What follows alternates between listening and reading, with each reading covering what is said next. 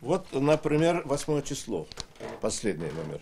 Получили мы э, 10 Свежих газет Иршат Гафаров не видит больше полугода. С прошлой зимы, по словам мужчины, почтальоны перестали их приносить. Да и вся периодика теперь только в местном почтамте приходится самим идти и забирать. Три километра до почты.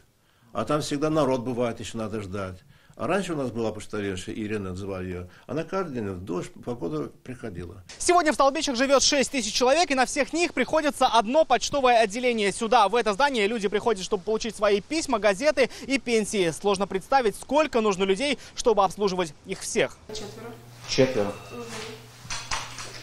Это в штате они? Да, конечно. Четыре почтальона плюс заведующие. Таков штат отделения сегодня. Но селяне считают, что и заведующие вынуждены брать на себя львиную долю работы, носить почту, работать кассиром, продавать товары. Почтальон 5-6 было, а сейчас осталось одна, и то на время просто подрабатывать. Все ушли.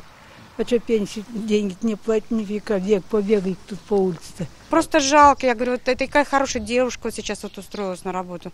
Прям вот просто прелесть. Она старается, уж можно сказать, чуть ли не ночует здесь.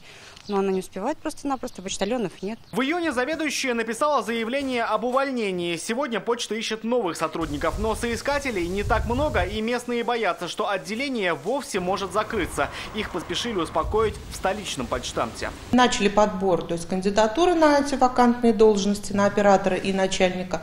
Если до даты увольнения настоящего сотрудника не удастся подыскать кандидатуру, будут направлены сотрудники мобильной группы. На такие меры почта пойдет, если на вакансии никто не откликнется. Остается неделя. Жители переживают, лишь бы не пришлось ходить за письмами в соседнюю деревню. Рамиль Шайдулин, Игорь Романов, ТНВ, Лаишевский район, Казань.